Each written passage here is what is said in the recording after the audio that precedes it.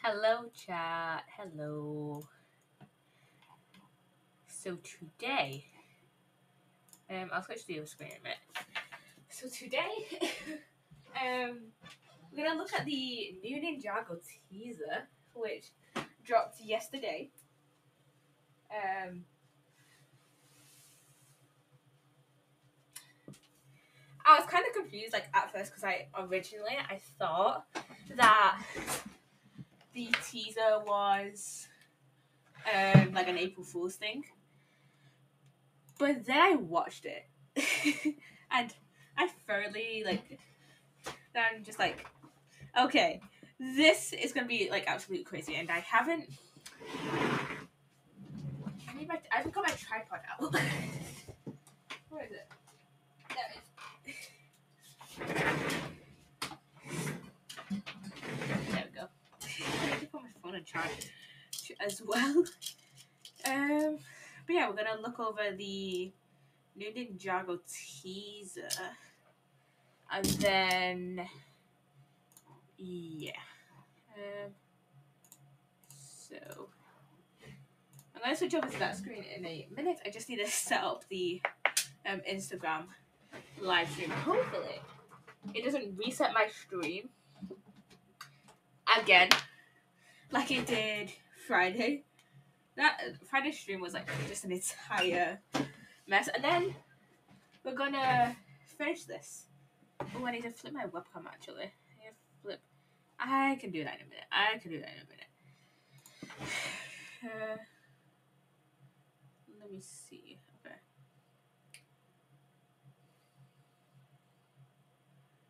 Uh, live.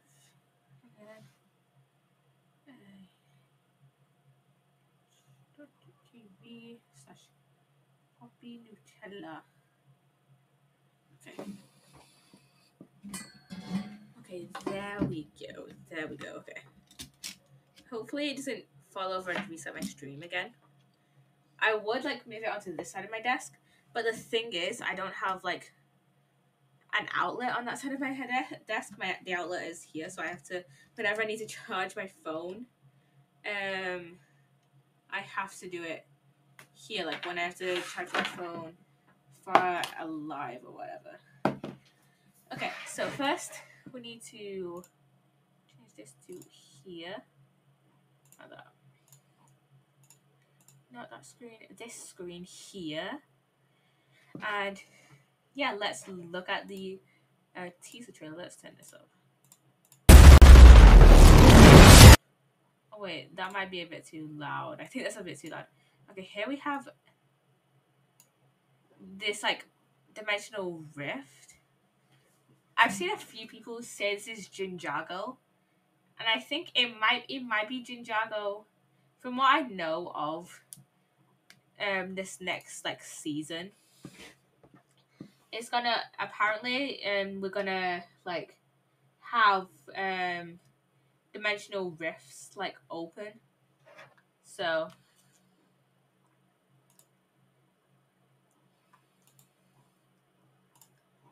Uh, and yeah, okay. And that's um an X Men. I can't tell who that is right there. Maybe it's Pixel, maybe it's not. And then we have here we have okay, that's Jay, not Nya like I originally like thought. Yeah, that yeah, that's Jay. Yeah, that's Jay. Thea, our favorite badass, our favorite badass. And then here, that's one. So she get, so she gets her powers back, and then there's Kai here. Cole again, and then here, right here.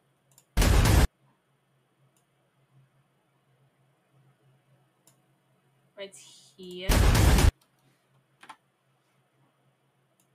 Uh, apparently this is the I can't get it any closer, but apparently this is this is Lard here, obviously, and then apparently this behind him, the guy he's carrying is um Armin, I think his name is, aka one of the new characters from uh this season.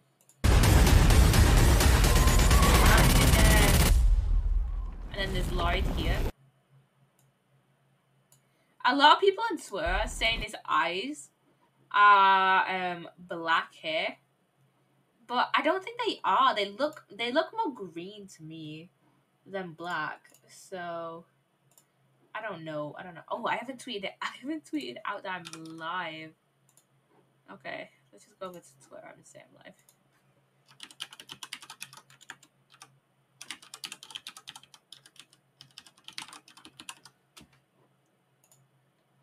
Okay.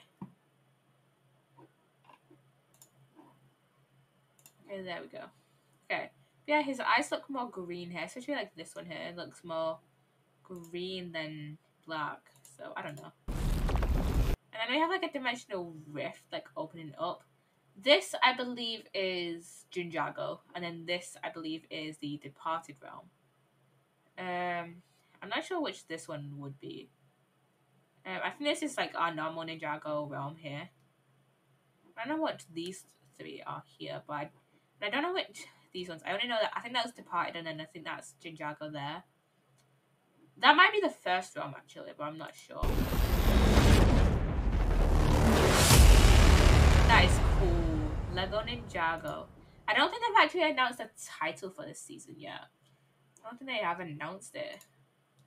But yeah, that is the newest Ninjago season. That's the newest. Um, that is the newest. Um, that is the newest um teaser for this season. Okay, I gotta flip my camera around and move this to here. Okay, uh, yeah. Okay, so last stream last week we read um Kai and Zane's story. Go watch that stream if you haven't. Let me let me check actually. Did I think I think the VOD is highlighted, I'm pretty sure, but I wanna just check. But yeah, the VOD the VOD should be highlighted. Um videos. Recent highlights and uploads. Yeah, it is highlighted. It is it is highlighted. And I think what I've started to do as of recently is um I think I mentioned this before, but this season I'm going to um highlight all my Ozwork um streams. So yeah. Um let's see all my highlights. Okay, so I first started highlighting like seven months ago.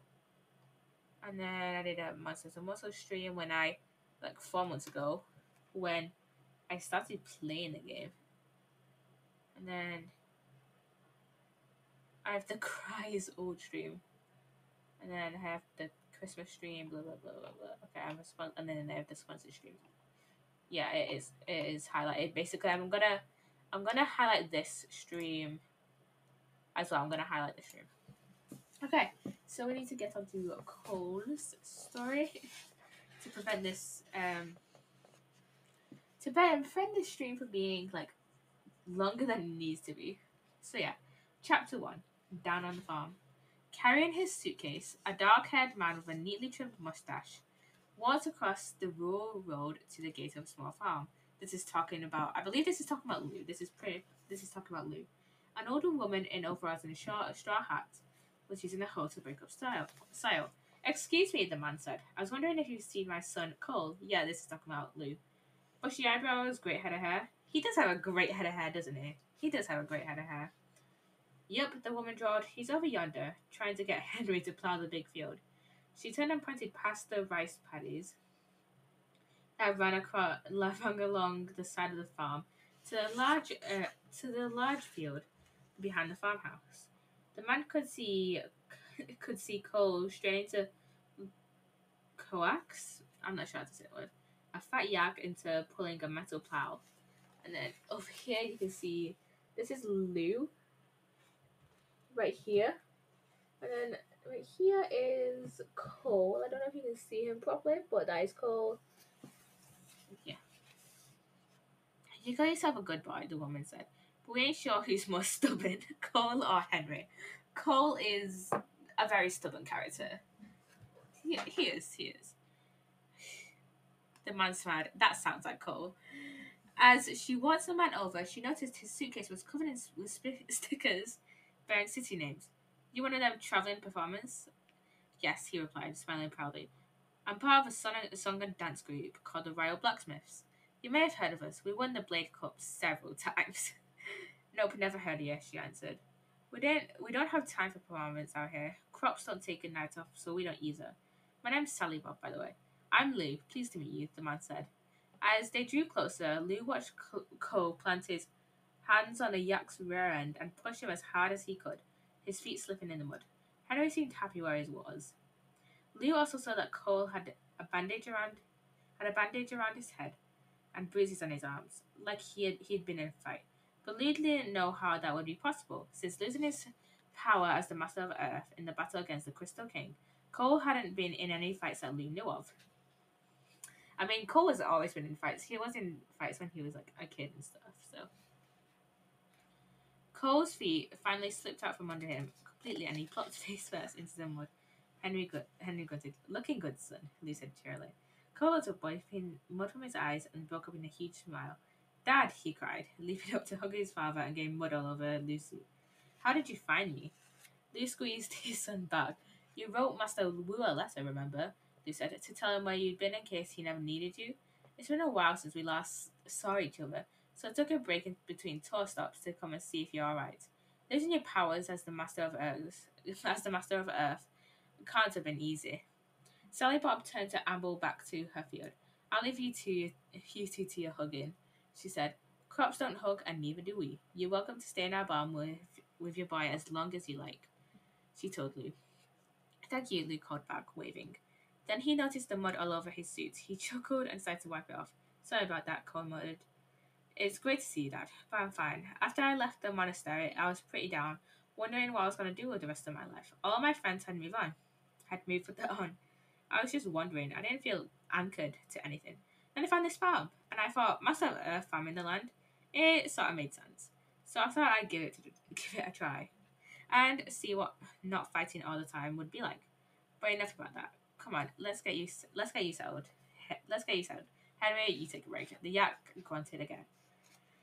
Cole took his father took his father's suitcase and led him past some small harvest and towards a la- towards a large bank bank barn. And I kind of like it here. The people have treated me great, like one of their own, he said. He waved at a farmer walking in the other direction carrying a sack of, sack of seeds. Hi, Bob Bob. Is everyone just named? Does have. Is everyone's like first name hyphenated with Bob? Heading out to the plant to plant at Northfield, the man smiled and nodded, continuing on. And when he was past, Cole saw that his father was confused. That's Bob Bob, he explained to Lou. He's Sally Bob's brother. Okay, I think it's just their family thing then. That's one of the best things about this place. Only some of the farmers are related to each other, but they all treat each other like one big family, and they're super peaceful. I wish, I think they worship the land. They gently went to touch one of the bruises on Cole's arm. Looks like peaceful farming can get pretty dangerous, he said. Oh, that Cole replied with a frown. Sally Bob's bunch been having a, having trouble with her neighbor Takanagi. He's a big time farmer who owns all the land around Sally Bob's and Sally Bob won't stop. Takanagi wants all the land though, so he sends his folks over here every every so often to try to convince her. And you've been defending the land for the farmers, Lou guessed. Trying to, at least. I promised Mom I'd always stand up for the others. I love Cole so much. you, you can see why he's my favorite character. And that means whether I I have powers or not. He's fine. I thought being here would be a simpler life, one where I didn't need to be a ninja. So far, that hasn't happened. But I think it'll work out somehow eventually. Lou, Lou nodded. Then he looked at Cole closely. I know you say you like it here, but but do you feel what was the word used? Anchored here? Maybe grounded is a better term. Like this place and these people will give you a sense of balance in your life. Where did I tell you? show you these ones. Okay, so this is Cole right here. And then this is Cole and Lou right here. Okay. And I'm guessing that's Bob Bob right there. I can't, you can't really see him together. You can't really see him, so. Uh, Cole shrugged. I don't know. I feel like something is something's been missing since I lost my powers, and working here makes it not so bad.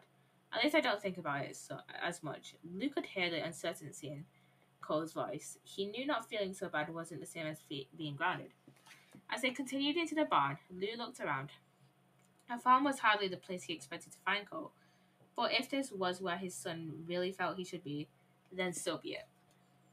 Okay, well, on chapter 2 now. Attack of the War Tractors. Lou woke up with a start, sitting up in Sally Bob's barn, hearing a groaning noise like a heavy door opening for the first time in hundreds, hundreds of years. What's that? he cried. Across the barn, Cole woke and wiped sleep from his eyes. Huh? Oh, that's the farmer's rooster. It must be sunrise. That doesn't sound like any rooster I've ever heard, Lou replied, hurrying to the barn door and sliding it open. Instead of a rooster, he was startled to see the yak, yak standing before him. It looked him from chin to hairline with its sandpapery tongue. Lou yelped, yelped in surprise and jumping back. And then there's Lou and Cole and Yak right here. Henry likes to pretend he's a rooster, Cole explained, patting Henry's nose. Lou looked at the dark sky, but it doesn't look like the sun's coming out. Coming up, he pointed out. It looks like the middle of the night. Cole stepped out of the barn with his dad and gazed at stars confused. That's weird, he said. The only other time Henry pretends he's a rooster is when there's trouble, but I don't see any. Before he could finish, they heard the rumbling, heard the rumbling of engines, and a moment later, five pairs of headlights created a hill in the, in the distance. The lights grew bigger and the rumbling louder as they approached the farm. Takanagi? Lou asked. Yeah, stay here, Dad. Cole implored. You'll be safe. Cole ran towards the headlights. Whatever Takanagi was sending their way, there were more of them and that than there, there were of Cole. Lou admired his son's bravery, but he wished he had so- someone or something else on his side. The other farmers stood outside their homes, watching, not making any move to go to his aid, and Cole was trying to protect them. Many farmers were peaceful, but they would surely would, but surely they could do something to help. Since it appeared they wouldn't, Lou decided he would help. He would. He ran after Cole, quickly becoming winded. I'm in shape for soft shoe dancing, not sprinting, he thought. As he got closer, he saw that the approaching vehicles were tractors, which made sense, but they weren't like normal tractors. They had been heavily modified, with metal platings on along their sides.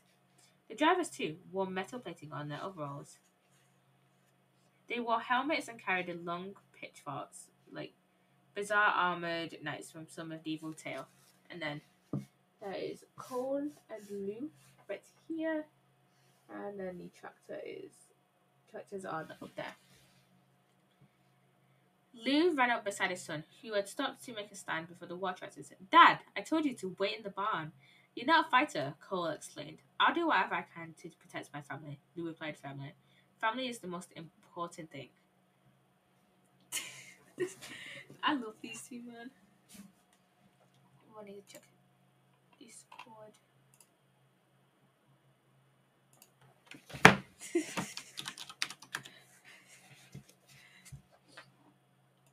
They're just chromatic.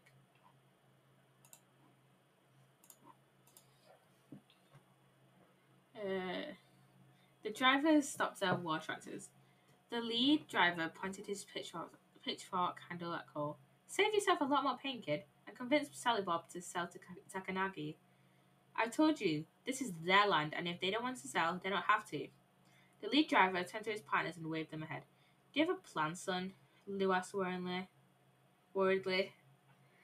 Since I don't have my powers, I'll just keep doing what I've been doing. Using my spinjitzu and hoping for the best. Cole told him. The war tractors were already almost upon them. Cole tried to spin, but didn't have enough room, and he turned right into the broom handles of the two of the two of the drivers. He fell, adding more bruises to his collection. Two other drivers, grinning, circled Cole at high speed, splashing mud all, all over him. The fifth driver sped straight at Lou. Lou didn't know what quite to do. He didn't know any fighting move. He any fancy fighting moves. Just dance steps. Suddenly he realized what he could do. He and he smiled. Just as the war tractors war to reach him, Lou gracefully slid to one side. As a machine went past, Lou executed a perfect perfect stance twirl. His foot connected with the war tractor at perfect time in the perfect spot. At least that was Lou. That what was that was what Lou was hoping for. But instead of knocking the heavy, fe- heavy vehicle on its side as he had intended, Lou just bounced awkwardly off from the machine and landed very ungracefully in the mud. The driver was speechless, absolutely baffled by what he had witnessed, and couldn't take his eyes off the unfortunate dancer. He was so preoccupied with Lou's blunder, he didn't notice he was driving his vehicle off the path and straight into a ditch until it was too late. The war tractor suddenly fell, fell over on its side sending its driver into the mud too. Cole, however, was having a lot more trouble. Three of the other drivers wouldn't allow him a moment so he could use his spinjitzu. He concentrated on deflecting their blows instead, but the fourth driver swooped his pitchfork handle behind Cole's knees, and he fell once more. The three drivers broke away, rampaging their war tractors up and down the fields, ruining the farmers' crops. The farmers still just watched. Cole again tried to stand, but the leader pinned him to the ground with his pitchfork handle. And then right here, we have the leader and Cole uh, right here.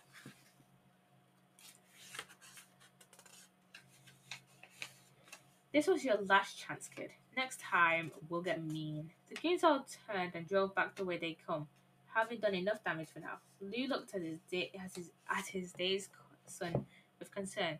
Cole, are you all right? No broken bones, Cole replied, rising unsteadily with Lou's help. He watched the thugs go, his eyes distant. Lou worried for him. What is it, Cole? he said. Didn't look Cole didn't look back at him. It's just I don't know how I'm gonna gonna do it this time. He told he told his father. I don't know how I can keep my promise to mom to mum.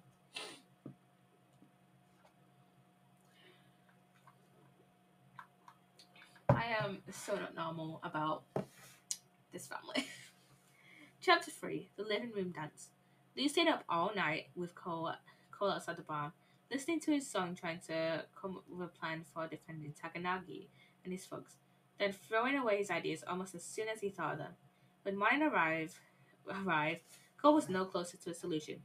The more I fight back against him for the farmers, the more violent he's going to get.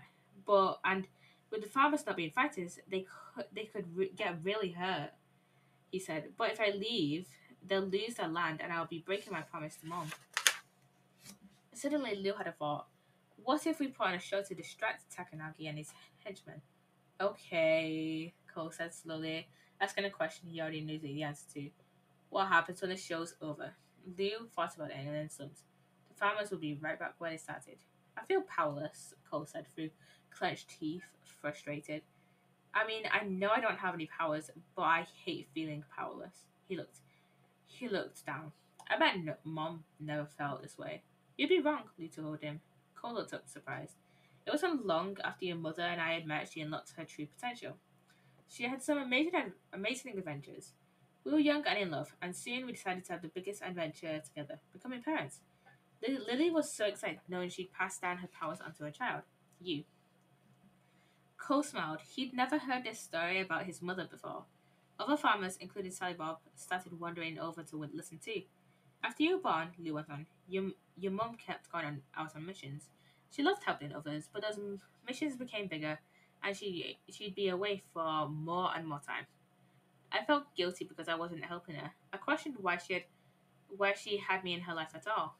How could she need a powerless man like me? So what did you do? Sally Bob asked, fairly engrossed in the story. Well, I knew Cole needed me, Lou said, then turned back to his son. I took some time off from the Royal Blacksmith so I could always be around, even when your mum couldn't. And you and I had a wonderful time, playing together, singing together, dancing together in the living room. One day, your mother came home from a long adventure.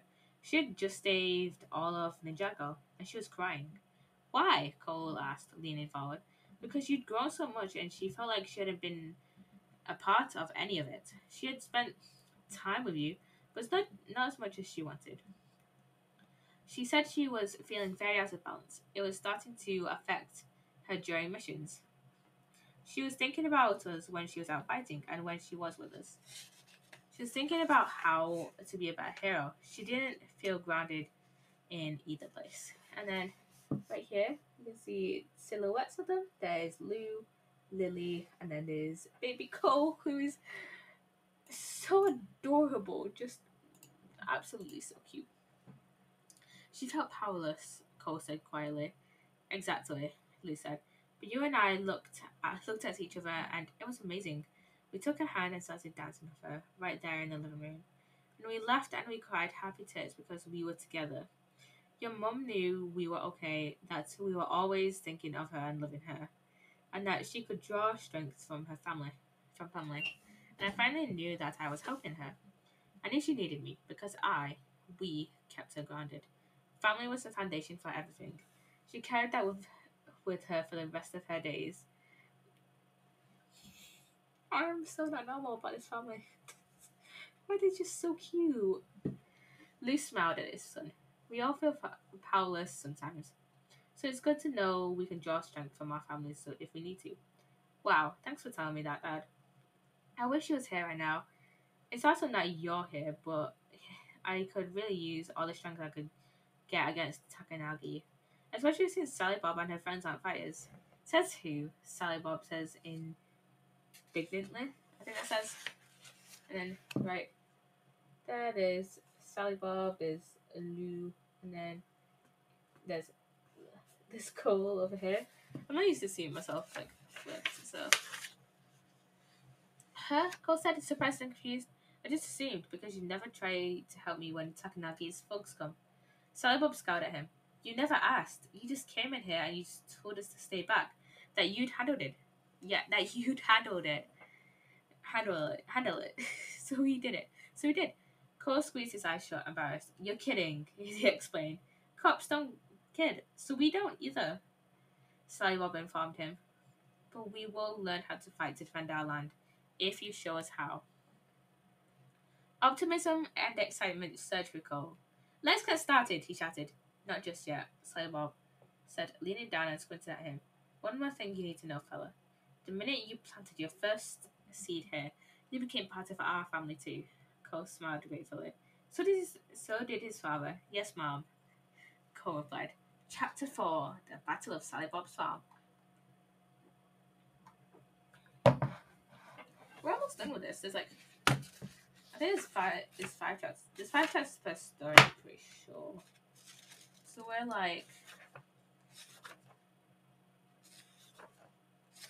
got not too, yeah, we've not got long left to do to Jay's story.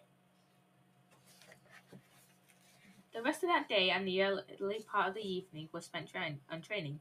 Cole gave the farmers a crash course in farm defense, using whatever was at hand for makeshift weapons. He held tryouts to see who could throw a corn cob the farthest and the hardest. Sally Bob had a surprisingly good arm.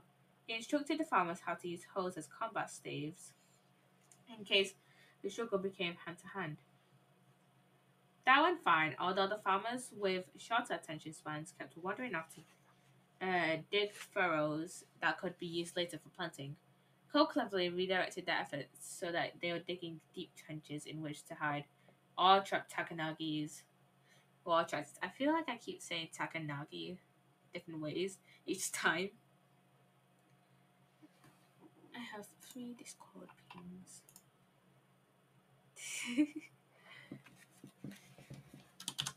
One of them is from Mr. Crumpton. So.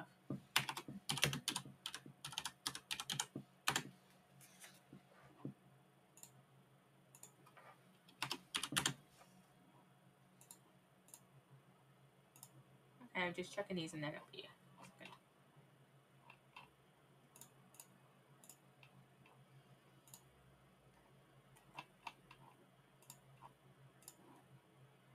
Okay, there we go, there we go. Together they all pitched in to tear down the barn repurposing its wooden planks and tools to construct primitive, primitive catapults that were nonetheless capable of launching hay bales several hundred feet. Lee participated in the training as well, hoping hoping maybe he could learn a little something that, if not useful for fighting, might come in handy as perhaps a dance move. When training was over, Cole knew it wouldn't be enough to stop Takanagi and his men. The farmer simply didn't, have enough firepower power to hold out against the invaders, but he hoped desperately that if Sally and the others could stand strong enough and maybe get a few get in a few licks on Takanagi, he, like most bullies, might decide they were too much trouble and leave, leave them alone. Are you ready? Cole asked quietly after all the preparation had been uh, had been had been made. He and Cole crouched behind Sally Bob's house in the last light of the day. The other, the other farmers hid behind their own homes, all crouched in the newly dug trenches. Sally Bob was with her neighbor behind his house. I think so, Cole. Cole. Cole answered finally, but can I tell you something strange? You can tell me anything, Lee replied. I feel like more like the way I was, more like myself, than I have since I lost my powers. You know how you're talking about being grounded? I think that's kind of how I feel. Maybe not by the specific place, but I did by these people. Does that make sense? Absolutely, to Lou told him. Cole sighed. I just hope all this works today. It wasn't. All this work today wasn't for nothing. I mean, we don't even know if Takanagi is coming tonight. Lou looked behind the property, Fab's property line and panted. I don't think you have to worry about that, he said. The headlights were back at the top of back at the top of the hill, and Cole could make out the war tractors' silhouettes. One man stepped in between two of the war tractors. His armor was different from the others. He spoke into a into a megaphone. This is Takanagi. I did not appreciate having to be here, but I wanted you to see the face of the man who will siege your land. With my control of, the, of this whole region, everyone will come to me for their vegetables, and I will make them pay whatever I want. Do not resist my forces. I have another weapon beside these. I do not wish to use it. It is even more horrible and destructive. He paused, running through a me- mental checklist. Okay, I think that is everything. Here we come. And then there is Takanagi himself. The war tractors began moving down the hill. Just the way you thought they'd do they do this, Lou said to Cole, who nodded. Takanagi's forces approached a seemingly flat patch of land leading to Sally Bob's farm. But when they tried to cross it, the planks dusted with cut grass, disguising the hot, empty trench beneath them, beneath gave way. With a loud woof, the war tractors fell nose first, throwing their drivers forward to land on the trench's bottom. There was a cheer from behind the other houses as the farmers realized that their defense strategy worked. But the drivers clumsily scaled the trench in their heavy armor, leaving behind their war tractors and lumbering forward on foot. Cole waved his hands to signal the farmers, got out of hiding and began hurling their projectiles. Corn cobs, head, heads of the bok choy, and potatoes they had grown. Many missed their mark, but thanks to their armor, the slugs were too heavy to dodge the others, most of which were thrown by Sally Bob. None did any real damage, but several of their goons overbalanced and fell on impact. They would get up only to be knocked down again. Cole could see, Cole could see, Cole could see them looking at each other with confusion and even fear. What else could the farmers have have back there to use against them? After their fifth failed attempt to advance, the exhausted goons chose to return and run back the way they'd come. But before the farmers could celebrate, there was another louder roar from the top of the hill. Everyone turned, and to their horror, they saw an even larger armored vehicle, this time a massive harvester rumbling towards them. Suddenly, it, belched a plume of flame. I don't think corn cobs are going to do too much against that, Sally Bob said worriedly, worriedly as much as the war harvester growled across the fields, coming straight for where the group was standing. That's why we have catapults, Cole replied grimly. Get ready to launch. The farmers ran to their positions by the catapults, which were already loaded with hay bales and let fly. The projectiles are are arced, arced towards toward the war thresher, but either smashed harmlessly against its sides or they were incinerated by the jets of flames. The war fresher continued its slow advance as Cole, Lou, and the farmers watched. Cole could feel the eyes of the farmers and his fa- father waiting on him, waiting for his orders. There was only one left. He, he there was only there was only one left he could think to give that might do any good. He turned to them. I don't want any of you to get hurt. I'll hold Takanagi off as long as I can to get I can get while you get to safety. Run. Not giving them to, a chance to protest, Cole turned around and started marching towards the oncoming war fresher. He had no idea what he was going to do, but then out of the corner of, the, of his eye, he could see Sally Bob, the farmers, and even Lou walking with him. What are you doing? he asked in a panic. I told you to run. Crops don't run, neither do we. Sally Bob growled in response. We stand up for our land like the family we are. They kept. This is a long chapter. This is a decently long chapter. Kept marching. Whatever, whatever they would do, they do it together. The final terrible resolution seemed inevitable until the last member of the farm farm family took matters into his own hands. Henry the Yak lumbered in front of the farmers and into the path of the harvester, then simply stood there. The harvester paused, as if unsure what to do. We need a distraction to get Takanagi away from Henry before the, fre- the fresher turns him into steak, Lou said. He grabbed up three leftover potatoes, then ran into, across the field. Dad, don't! Cole yelled, running after him.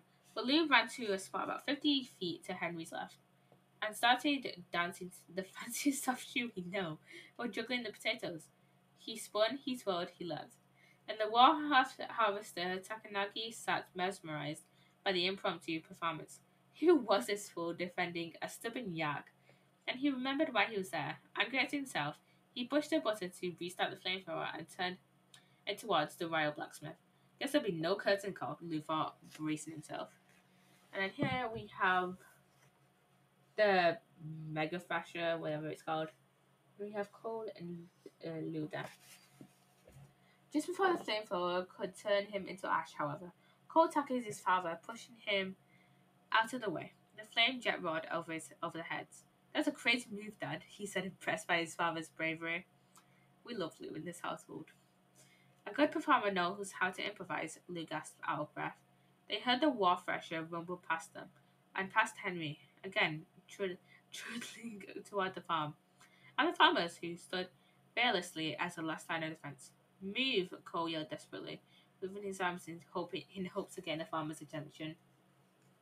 Get away from there, people. Come on, you're going to get hurt. But the fa- if the farmers heard him, they showed no sign. They did not turn and run. Instead, they planted their feet firmly and then something, something unexpectedly. They joined hands.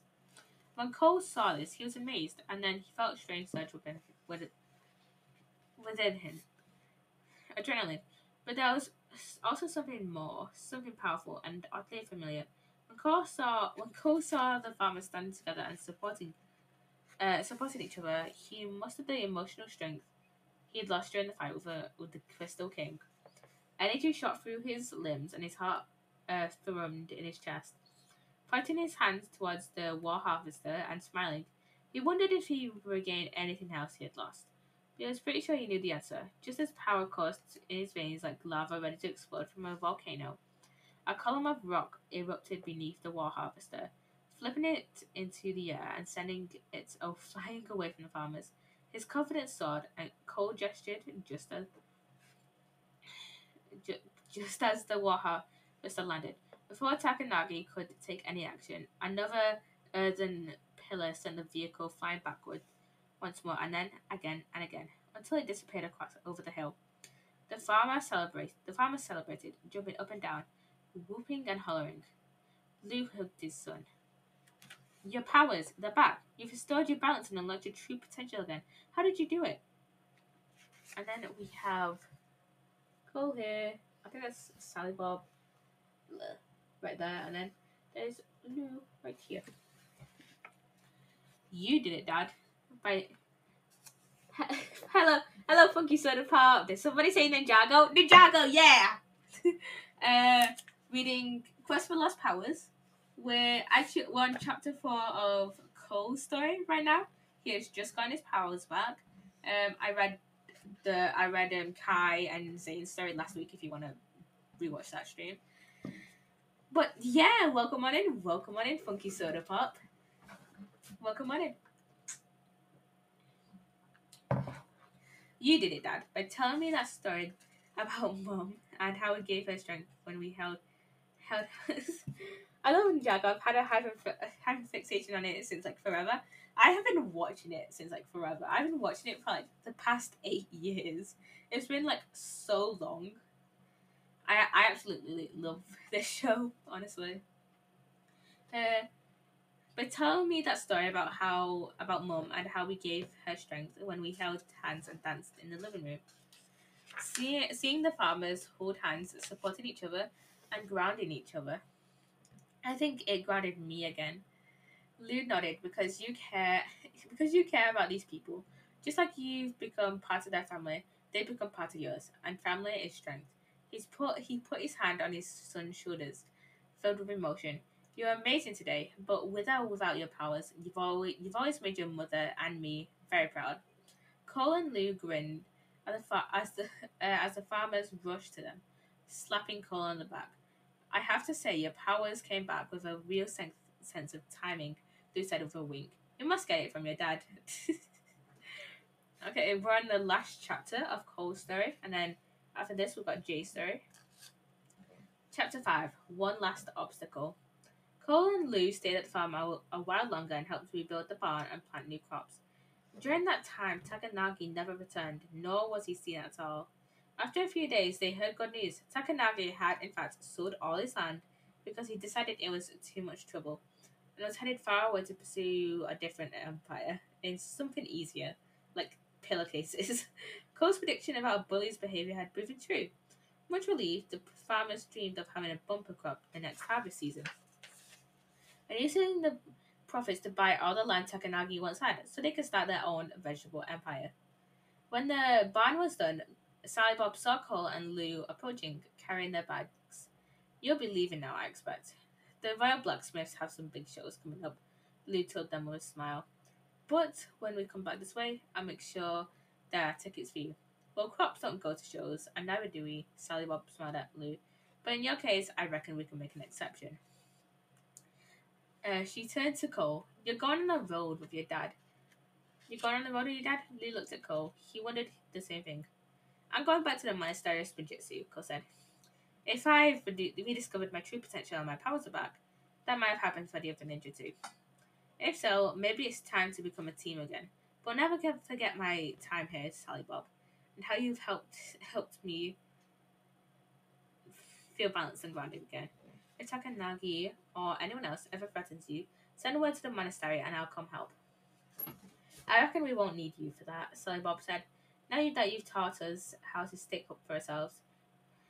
But if you're free around harvest time, Cole left. I'll be here. They all shook hands, and Cole and Cole and Lou walked towards the gate.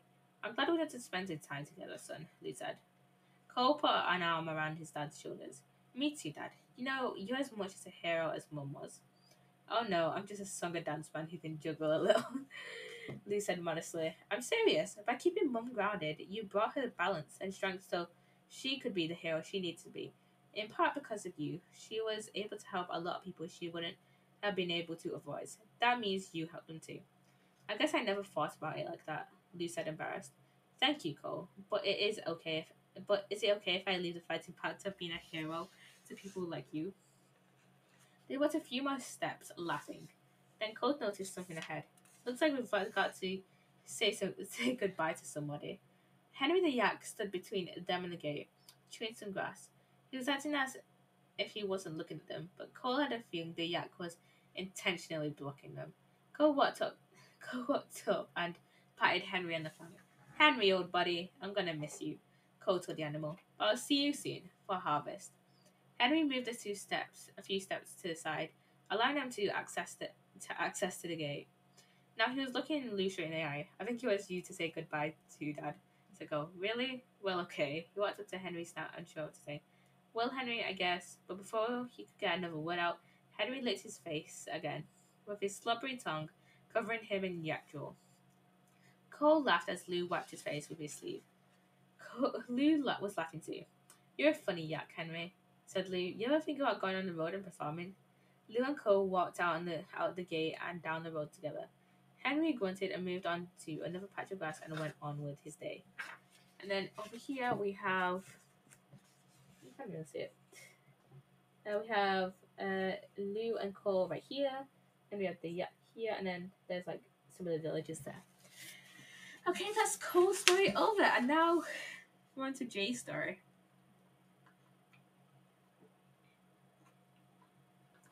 Like I said, um, last stream, I haven't heard too much about this story other than it's it includes Nya and Unagami and obviously Jay, but it's like it's Jay's story. What you're gonna expect? Chapter one, the getaway. Welcome to paradise, Nya said gleefully, setting down her bag. The plush hotel room's furniture was overstuffed, the carpeting carpeting thick, and the towel soft. I was sure and she was sure that Jay's room next door was just as nice. I love this new resort already, and hardly anyone's ever heard about this island. No video games, no television, and all you can eat, and all you can eat buffet at every meal. Just peace and quiet. Getting no response, she turns to see Jay staring out the glass door to the balcony. Past that, there was nothing but lush jungle. He hadn't even dropped his backpack. Jay, she said. He still didn't turn around. Jay! He jumped, started, and smiled weakly. Sorry, Nya, he said. I was somewhere else. Well, hurry up and get here, Nya replied. She sat in the bed and bounced on it a little to see how comfortable it was. Jay went over and sit over stiffly and sat. Come on, Jay. We thought this would be an amazing vacation for us after a fight with the Crystal King. Aside from other guests, we were literally as far far as we could possibly get from everything. I know, Jay said, sounding a little guilty. And it really is, it really is beautiful. So it should be perfect for us to relax, rest up, and adjust, right? Nya asked gently. You're right. I'm sorry, Nya, he said again. I just feel like like I'm missing a piece of myself. Nya stood up, nodding with understanding. Yeah, you're missing the powers you had as, as Master of Lightning. Jay stood too and walked back to the balcony. The balcony doors. The way I'm feeling is like when I think about my birth mom giving me up to the walkers for adoption. I love Ed and Ed. Uh, they're my parents. They are my parents. But I'm always going to have this hole inside me where my real mother should be. oh my god. I love this already. Hey, getting used to cha- the changes in your life will take a while, and that's okay, Nya said. I just want you to get back to being you, you know? You haven't cracked a single bad joke since we left the monastery. He turned around, an exaggerated look of hurt on his face. Wait, my jokes are bad. they are, Jay. They are. They are pretty bad. Nya smiled gave him a playful punch on the arm. That's more likely. Might like it. Why don't you take a walk around, explore, try not to think about your birth mom or your powers or anything. When you come back, we'll hit that buffet. And then right here, we have Jay and Nya right there. Jay looks dubious. Walk around. He gestured to the dense foliage outside their room. Outside? Me. Jay's me. You don't have to walk into the jungle city, boy. I didn't even know Ninjago had a book until we go. It has several books. There's four.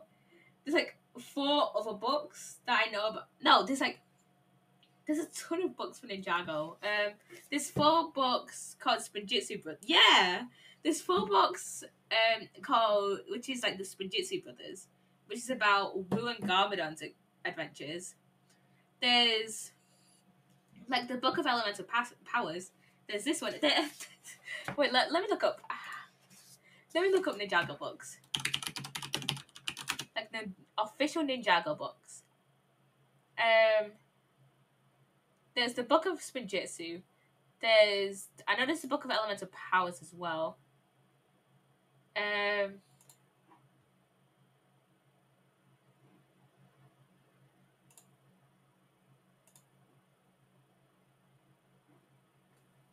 And then there's like comics in like the Ninjago magazines as well. There's the Garmadon, comic series. There's the Dark Island trilogy. There's a t- there's just a ton of like books and comic stuff. There's Way of the Departed.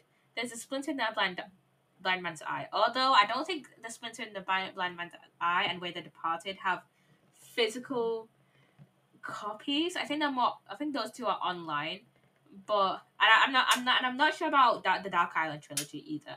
But I know the Spinjitzu brothers. I know Quest for Lost Powers and the Garmadon comic series have physical copies. I've been in the fandom for like eight years. I only learned about this. Oh, to be fair, the books are more of a recent thing. They've only really come back in the last like three, four years or so. And no one really talks about them. Like I've seen a ton of, I saw a ton of people talking about Quest for Lost Powers when it came out, but no one really talks about the. And I saw a lot of people talking about the comic Garmadon comics when they came out, mainly on Twitter. I, I see people mostly talking about Quest for Lost Powers, Garmadon comics, and Dark Island trilogy. No one really talks about the Spinjitzu Brothers books. I think people talked about the first one when it came out, but I don't think a lot of people still. I don't think a lot of people talked about them. Like, like for example, when Spinjitzu, I didn't even know there was a third Spinjitzu Brothers book until like three or four months after it came out. So don't worry. I know there's a lot of people that know about like all the books though. Or like any of them for that matter. It's like there's like a ton of books. A lot of them are like either like comics from a lot of them though are like comics from like the um magazines though. Oh, there's um, there's a Le- Lego Ninjago annual. The Lego Ninjago movie annual. That came out in that came out like a year after the or like the same year as the movie came out back in 2018. There's a lot of just random stuff for a random like books and like comics and stuff. A lot of them though, a lot quite a few of them are not canon though. Like for example, who is the Phantom Ninja? I know for definite that that one. I'm pretty sure that one is not canon. Yeah, I'm pretty sure who is the Phantom Ninja is not canon. These are coming be coming out for years. What? I know a lot. I know a lot more of the canon ones though have come out in more recent years. So the Garmadon the Garmadon comics, Quest for Lost Powers, and Spinjitzu Brothers, and the Book of Elemental Powers have come up come out in like the past few years. So I don't, I don't know if that confused you or not, but yeah, there's quite a few. There's there's quite a few. There's quite a few. If you want, you can just look search up Ninjago books, and then there's just a whole um wiki just listing them all if you want to get any. And I got I got mine off Amazon. I'm buying one right now. Um, I would recommend. I would recommend sign off with Quest for Lost Powers, just in case you want to have a little more context in between.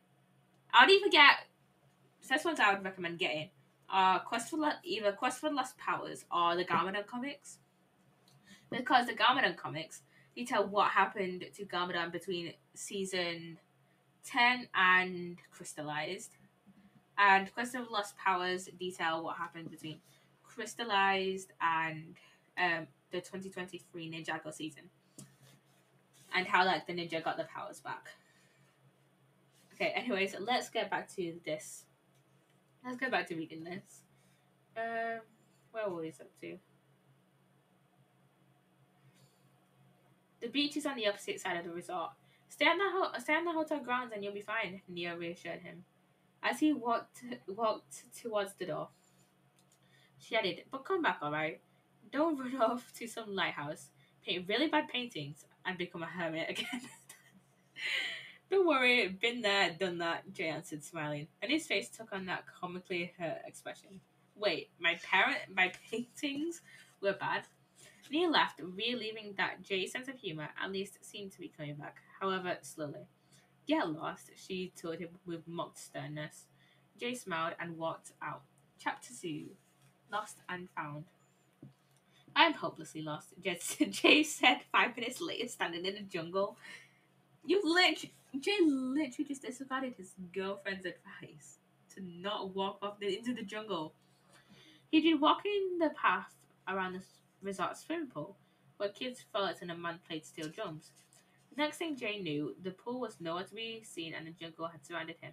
It was Jay's own fault. The walk hadn't cleared his mind at all. Jay's too sl- silly. He is very silly. Just such a silly guy. He couldn't stop feeling, thinking about how similar it felt to not have his powers and to not know the reasons his mother, from who he inherited those powers, gave him up. I guess they're both about lost, he thought. and I'll never get either one back. That's kind of sad, isn't it? That's pretty sad. Jay paused and strained his ears, trying to hear some sound that could lead him back to the hotel. But there was nothing. No children splashing in the pool, no tropical music from the steel drums steel drum player. There was no way he could contact Nya or the hotel. Jay turned in a circle. All these plants look alike, he moaned. Then he gulped. I wonder if ven- venomous f- frogs are hiding under them, just waiting to be pounced on me and make me part of their all they can eat buffet. How embarrassingly embarrassing would that would that be? Surviving the Crystal King only to be taken out by a toad with a rumbling tummy. He took a deep breath. It's okay, Jay, he told himself. Your imagination is just running away with you. You can't be that far from your hotel, and you haven't been walking that long. It only seems like forever. You'll just look up and see where the sun is, and you'll know what time it is and what direction you're heading in. Jay looked up through the canopy of leaves overhead, but the leaves were all he could see. He groaned and then realized something. You know you're on an island. If you walk in a straight line sooner or later, you'll come to a coastline, and you just follow it around the island until you reach the hotel. I wonder if there's any any venomous frogs. That's oddly specific. Very specific, Jay. Very specific. And you won't and you won't think about any hungry ninja eating frogs. Jay nodded confidently to himself and started walking. Nothing bad was going to happen. And then there is Jay just all lost in the jungle there. Just being a silly little guy. Just being a silly little guy. This is bad, Jay said five minutes later, finding himself trapped in a thicket of thorn bushes. And the four minutes before that hadn't been great either. Jay had st- stepped on a pile of fallen leaves and found they covered a deep hole with the with slick. Oh my god! My tripod just fell over.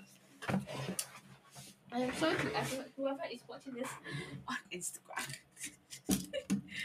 it is fine for like an hour, and then it just and then it just falls over.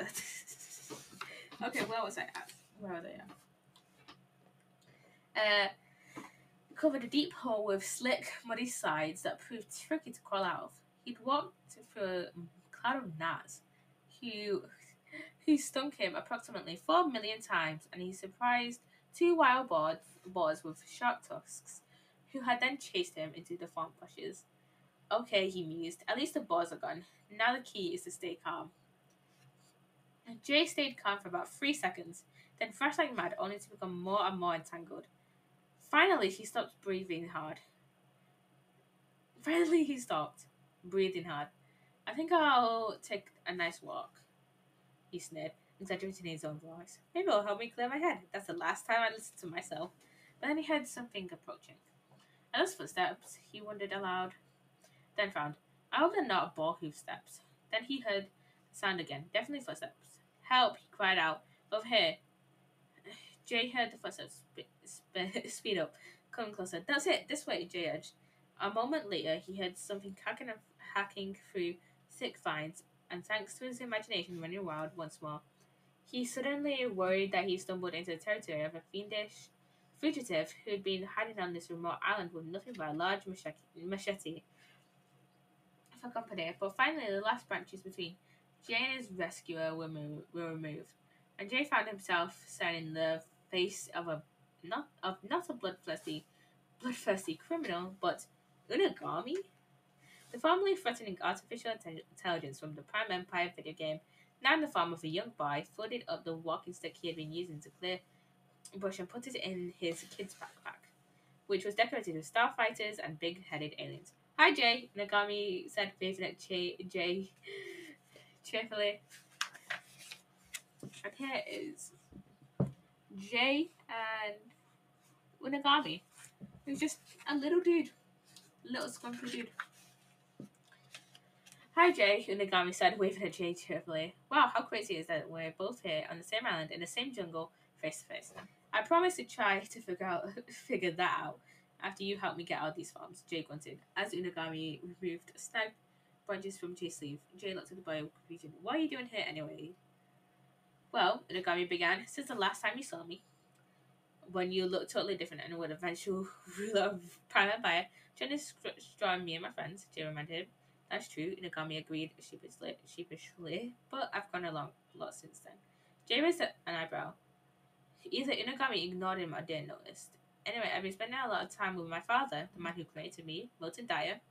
We began to know each other and become a family. I've never felt so happy, so complete. Good for you, Jay growled, remembering his own situation. We've also been developing a new game that happens in a hidden, genie, hidden city in this jungle on a remote island, said Unagami, smiling proudly. I'm here doing research.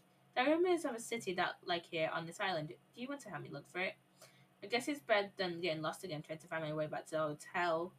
Jay grumbled. What did you say? Unagami asked. Nothing, Jay answered quickly. He knew Nya would start would be starting to wonder where he was. But finding a lost city sounded like fun. Certainly more than thinking about his inner emptiness. Oh no. Oh no. I'd love to help you look, he told Unagami. Thanks. Awesome, Unagami explained, exclaimed. Before we get going, I want to call my dad and tell him I ran into you. He'll be so surprised. Jay watched as Unagami took a tablet device from his backpack and turned it on. An icon of the boy's face appeared, blinking as it, as it beat up. I call this the Unagami meeting pad. It makes calls from anywhere to anywhere else, and it's powered by a tab planet's magnetic field. I invented it yesterday. Pretty awesome, right? Jay replies sarcastically. Getting to know your dad, creating a new game revolutionizing communications. What are you doing in your sp- all your spare time, Unagami? Figuring out why the chicken crossed the road? No, Unagami replied, darling. Darling, but I started to, but then I realized it wasn't any of my business. Best chicken crossed the road. Uh, joke. No, uh, let's see. Jay thought about that. Then had to nod. It was a good answer. A moment later, the holographic face of Milton Dyer appeared. Hi, Dad. It's so good to see you. You never, get, never guess who I'm with today.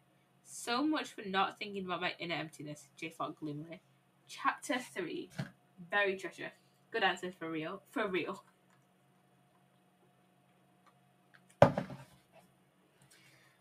After walking for two hours, following a blurry torn map that a whistling Unagami had produced from his backpack, he and Jay were in, back in the exact same spot where Unagami had rescued the farmer from a Master of Lightning. At least that's what I th- what I looked at Jay, who had who had had enough and stopped stopping in his tracks. In his tracks. Okay, I'm tired. I'm hungry. I'm itchy, and I'm sweaty. He told Unagami. And you've been whistling the same song over and over. I know, Unagami replied happily. Isn't it awesome? A coconut fell on a tree somewhere above, thudding heavily at Jay's feet, feet narrowly missing his head. Jay retrieved the coconut and held, held it out for Unagami to see. And I'd almost been beamed by 16 coconuts. he was also tired of relieving it in his mind how he'd lost his powers, or how he'd been, how he'd learned that his birth mother had given up for adoption. Though Jay didn't mention any of that. Oh, and Unagami had made three more phone calls to Dyer just to say hello. I get any closer to this lost city of yours, J.S. Crunkly. My feet feel like we've already walked a million miles. The coconut might help with your hunger issues, and we've actually travelled a mile and a half from where we started. Unagami informed him, looking at his digital watch. And the journey can be as fun as the discovery. Oh, you're just a kid, Jim said. What do you know? I'm a kid with an IQ in the tens of thousands, Unagami pointed out. Can you have an IQ that high? Is that possible? But then again, Unagami is an AI, so. Then he asked out of genuine curiosity. Do you know what yours is? Jake did know his IQ, which was seven tens of thousands, tens of thousands lower than Unagami's. Changed the subject quickly. I bet Unagami's um, IQ is much more similar to Pixel and Zane's and Jay's. Let's keep going, he said, and see if this journey gets any more fun. Unagami start, startled Jay by leaping towards him and bouncing his chest against Jay's. Yes, that's the spirit. And wow, I'm sure having an awesome time hanging out with you. Yeah, awesome, Jay said in response. But he couldn't help but smile as he as they started walking again. Unagami was a pesky and annoying know-it-all, but Jay found himself starting to like the kid nonetheless. It was hard to think of him as a terrible enemy he he'd been not long before.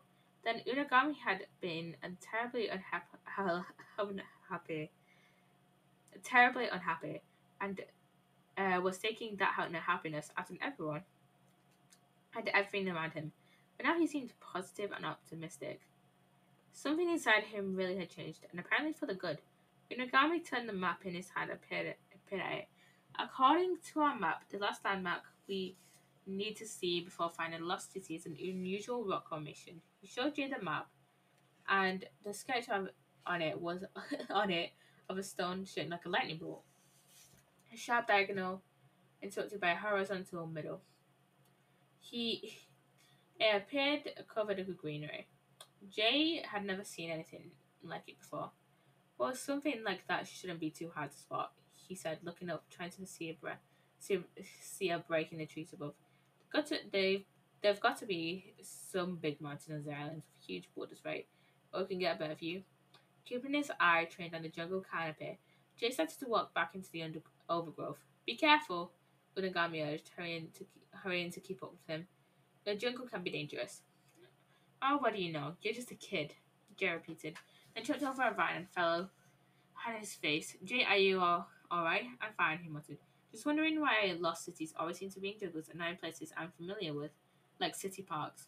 Unagami tapped his chin, thinking, I guess it would be because a lost city would be more would likely be discovered if it would be if it were in a developed area like a lightning bolt, Jay exclaimed suddenly.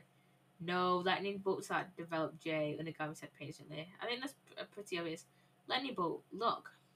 Unagami looked down and saw Jay staring out of, staring at a rock the size of a shoe. It was a diagonal rock joined to its narrowest, narrowest point, but a horizontal plane interrupted it halfway down, just like at the, just like in the sketch on Unagami's map. And here we have J, and then Unagami at the back. I love how okay you can't really see it, but Unagami has like a Pac-Man on his. Okay, you can't really see it. But he has a Pac-Man on his shirt, and I think that, I think that's just cute. I think that's just so cute. Yes, you found it, Jay. Unagami infused, slapping him on the back and sending him sprawling face first into the dirt once more. Unagami looked looked to rock over. Unagami looked to rock the rock over, I noticed that, they, that the half of it had caught any sunlight at all was greenish in hue. Unaga- Unagami gasped, and, and look, it's covered in moss. Huh? Jay said as he sat up, rubbing his chin. Well, now that we found it, what next? Unagami turned the map over, but it was blank on the other side. I don't know. This was where the last. This was the last of my reference material on Hidden City's location. Maybe we could walk in the direction it's pointing. Uh, the boy started walking the the boy started walking the way the top of the mountain was the top of the rock even wasn't indicating, but Jay stopped him. Hang on, I bet you're going to want this as a souvenir, he said, yanking the rock out of the ground. As soon as he did, there was a loud rumbling noise and the ground began to shake. What's your useless, hello useless computer? What's your condition? What? What what are you on about? I'm confused.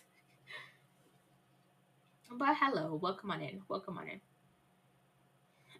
Uh let's see. Hello, James Nolan Mason. Read Siege. What siege? I am thoroughly confused. Uh, what is it? he shrieked. A tidal wave? A tsunami? No, Unagami shouted in response. And those are the same thing. Look. I wrote that book. Okay. I'll check. I'll make sure to check out after stream.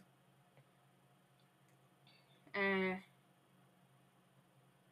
he pointed at the ground, at the precise spot where the point of the rock had been. A long, straight crack formed in the earth.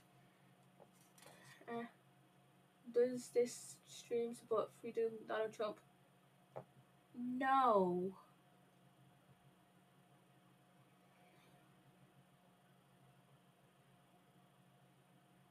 I am fairly confused right about now.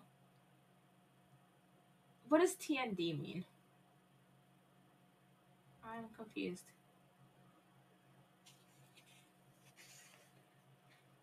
TND?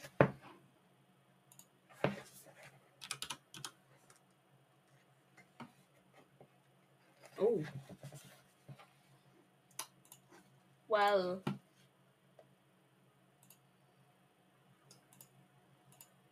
Bye then. Not having that kind of stuff on my stream in it.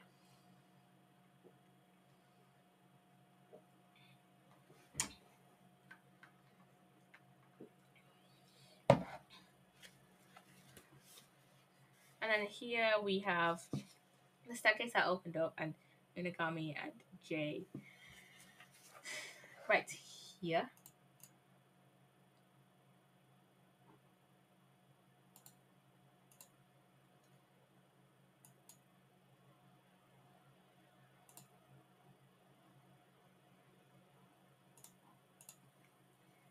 Uh,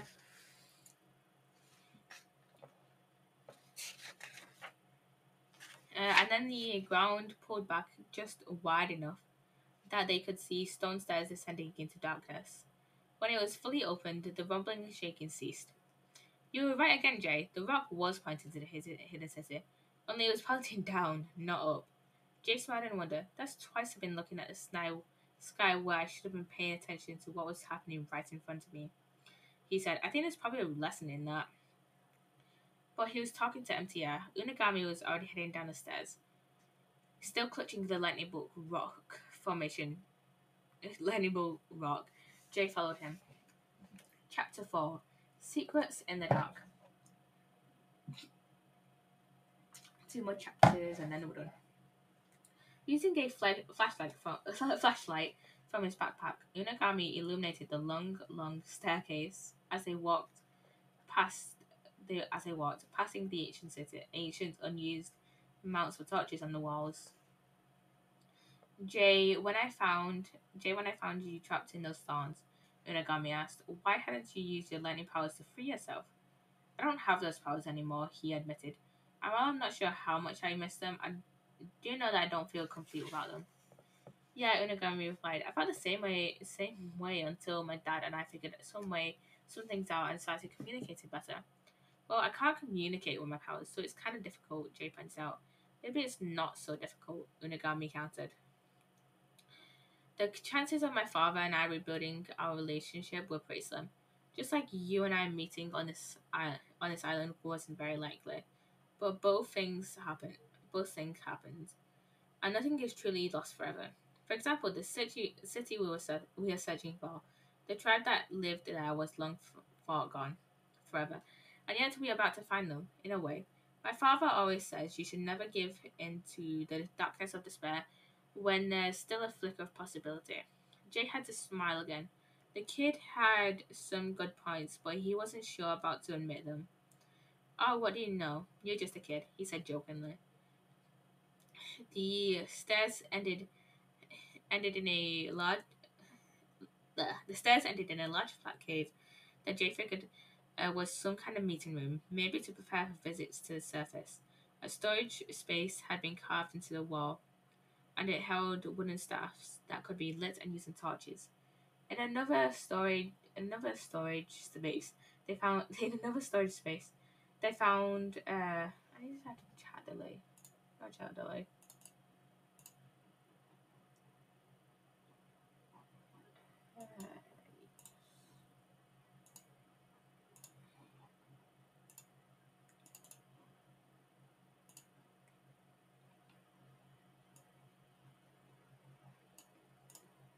And there we go.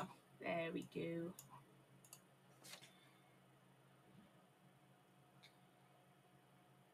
Uh, where were we? Where were we?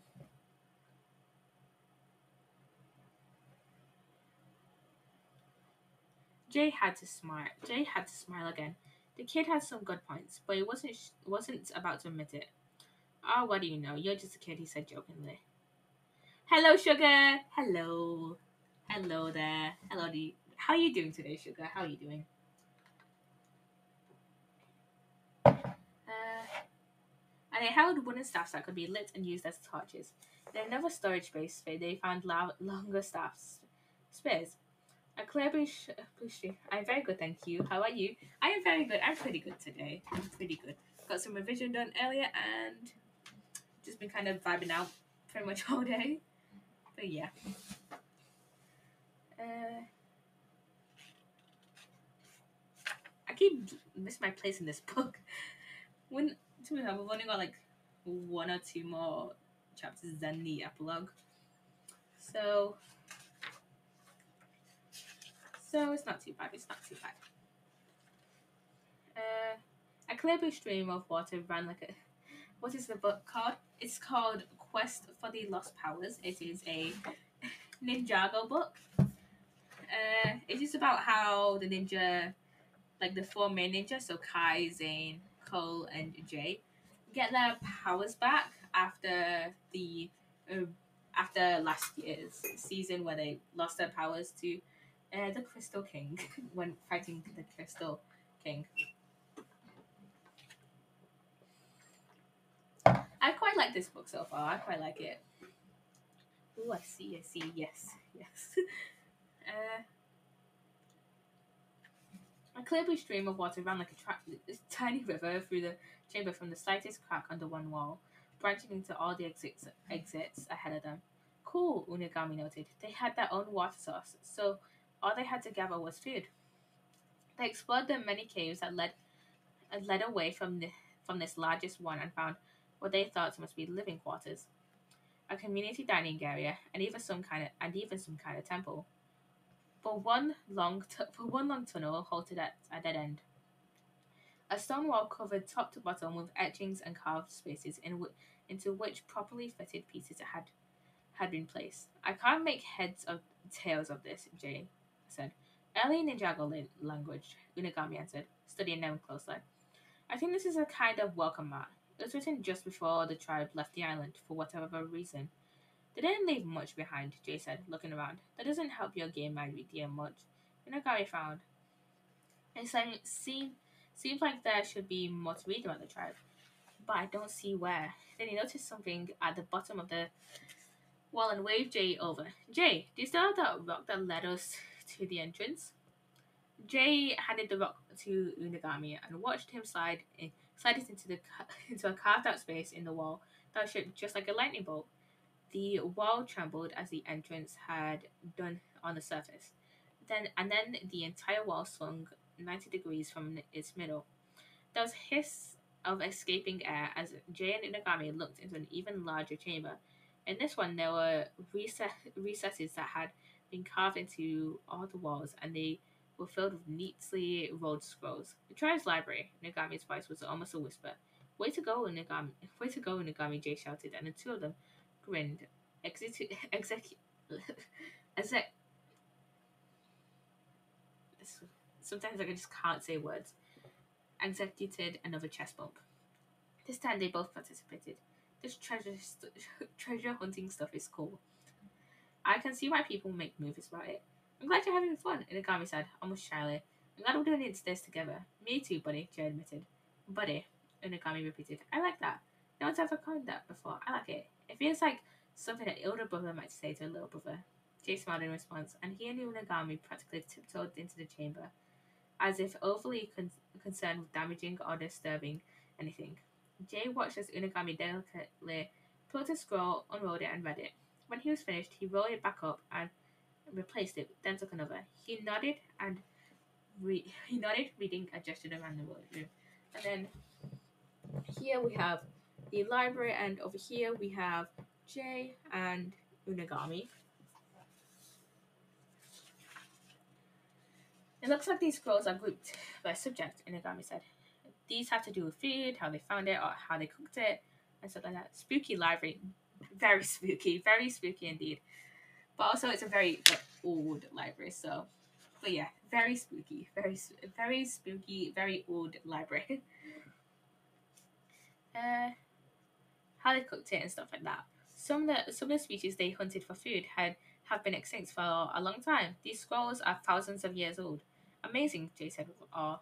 Unagami hurried to another collection of scrolls and opened and opened one. These explained how the tribes how the tribe raised children. He said, "This is in, this is really interesting. How so? Every child born into the tribe was raised by the whole tribe, not just their mom or dad. Mom and dad. Everyone shared equally in teaching the child and giving them all the things any parent could: care, love, education, protection, encouragement, discipline, and acceptance." Unagami looked up. Unagami looked up sadly. I never had anyone to teach me those things, or show or show them to me. When I first became self-aware, he continued. No wonder I was so unhappy. His expression brightened. It's a good thing that now that now my dad gives me all these things. Jay frowned when he frowned when he felt himself realizing something. Wait, I had all those things when I was growing up. The parents who adopted me, Master Wu, the other ninja, all my friends I made over the years. They did all the things for me that my bar- that biological parents would have. He felt something in his chest loosening, a weight coming off coming off his shoulders. I feel so bad for Jay. I, I feel so bad for him. And it is logical to believe that you have you have given back to them to them the same things, Unagami said gently.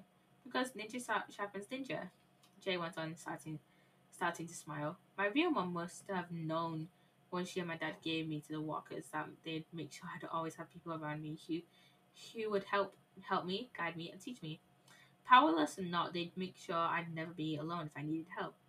Even as he said it, he could feel warm. He could feel warm, warmth bloom in his chest and spread throughout his body. Then he felt a powerless jewel of energy spring from his chest and out to his hand.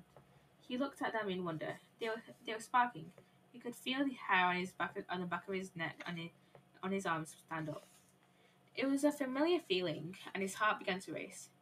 He felt stronger and more alive than he'd felt in weeks. Jay felt himself smiling, and Unagami was looking at him and smiling too. Jay, is something happening? I think so, Jay answered, with a hint of laughter in his voice.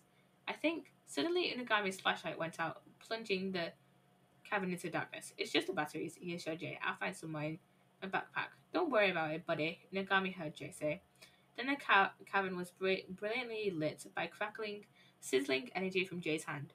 Like I was about to say, I think my elemental power is back. I'm the master of lightning again in full fur, in full force. But before they could celebrate, a loud rumbling cut them cut him off, and the entire cabin started to shake violently. And that sounds like an earthquake, Unagami shouted above the noise. And it and it's building to its full force. Chapter five. Nowhere to go but up. I don't think this is a natural earthquake, Unagami answered, trying to keep his balance. I think the tribe may have put in some kind of trap to deal with ruin robbers. Well, not robbing the tribe, Jay protested. Then he realized, of course they don't know that. We'd better. Oof. Unagami said as a section of the cave ceiling came loose and she struck him on the head. He fell to the ground, limp. More rocks continued to rain down around them. Hang on, buddy, Jay, Jay said, shutting off the power in one of his hands and scooping up Unagami with it. With it. Then he ran with his friends friend back to the main chamber, using his powered up hand to blast away falling debris. Jay saw the stones were getting larger. It wouldn't be long before the cavern was filled, and hopefully not while Jay and Unagami were in it. Jay, sta- Jay started up the stairs, and as he did, he remembered just how many stairs there were.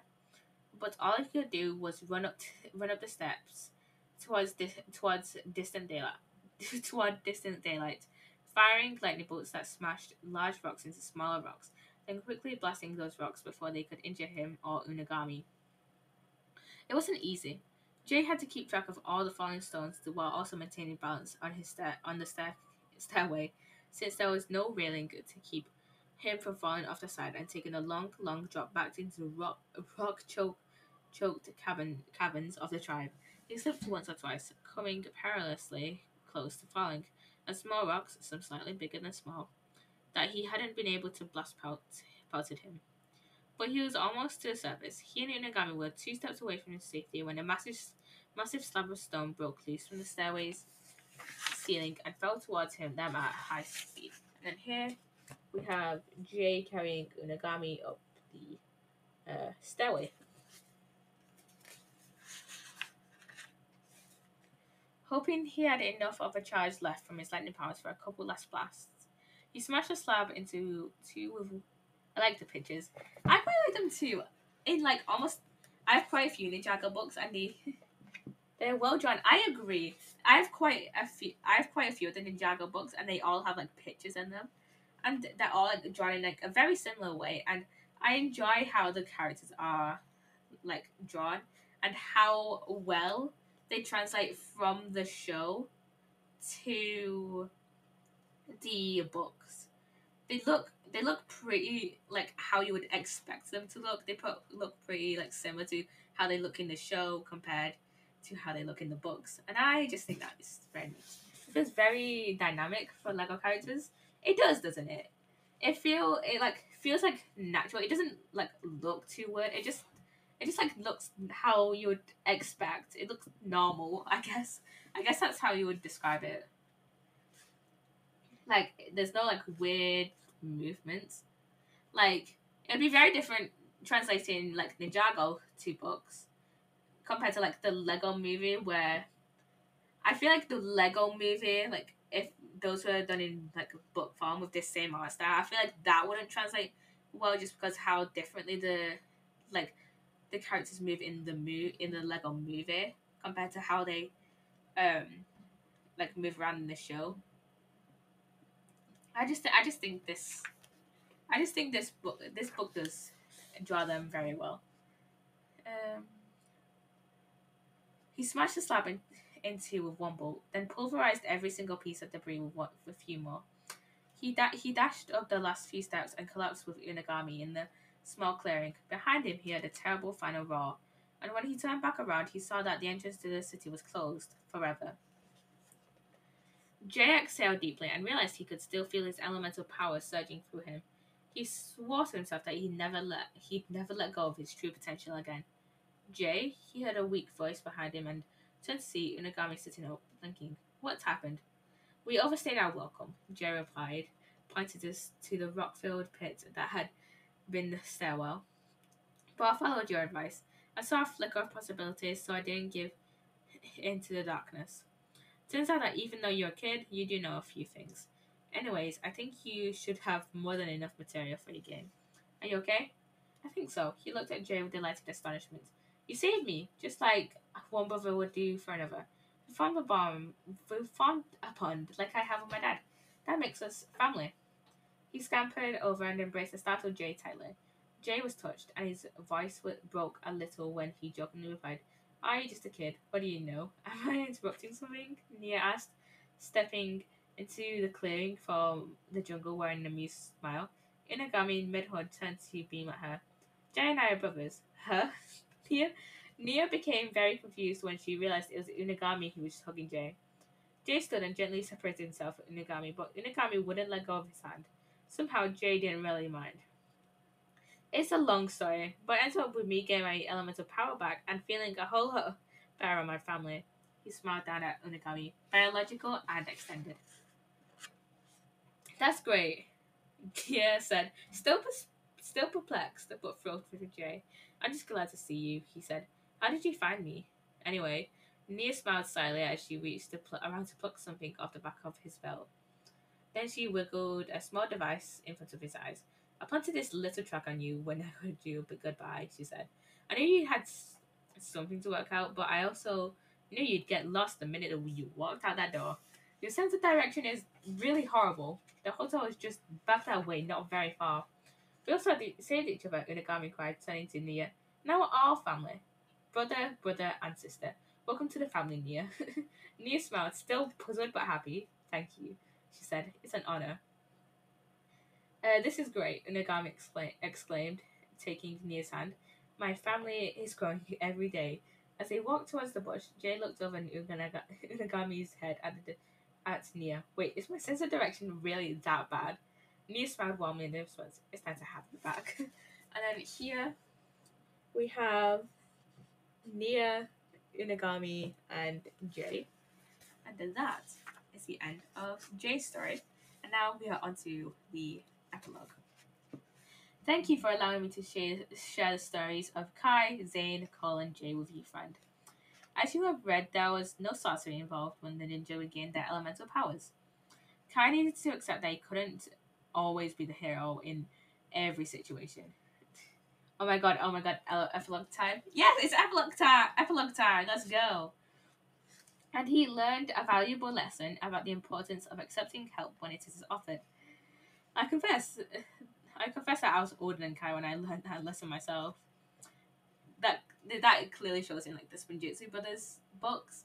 I have just finished Spinjitzu Brothers 4 and I, I love I love these Ninjago books. As for Zane, well, he did not hesitate to ask for someone for help in finding his powers. He turned to someone who had who has helped him many times in the past, and someone he trusts perhaps above all others, Pixel. Zane's journey deep into the banks of his fragmented memories made him realize that yeah, made him realize that we all need to be able to forgive ourselves for any wrongdoings, or else you can't move forward in life. As a, sen- a sense of inner peace and wholeness helped Cole and Jay restore their elemental powers and true potential. Giving and receiving strength from your family and the people you care about balances and grounds you. Once Cole realized this, the path to rediscovering his true potential became clear. Jay's secret to unlocking his true potential was buried very deep within himself. And he probably wouldn't have been successful without his most unexpected guide, Unagami. The boy helped Jay realize that the family he'd been missing were, in fact, all the people who loved him, cared for him, and stood by his side, stood by his side when he needed them. When I first reflected on these stories, two lessons emerged. First, one can always count on one's friends, and second, no one no one is ever truly powerless. The stories of others can be instructed in our own lives. Sometimes we can learn something new. Other times we can remember something something lost that may have been forgotten. Please come visit me again. Where the ninja are concerned, there are always more stories to tell over a fresh a cup of refreshing tea, Master Wu. And that is the end of Quest for the Lost Powers.